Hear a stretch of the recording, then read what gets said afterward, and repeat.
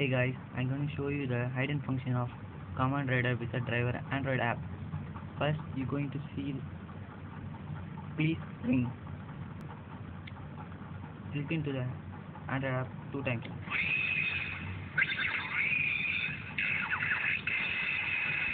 Again.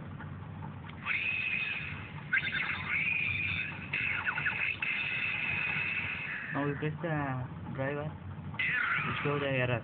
Then we change to the engine thing. Just the infinite key.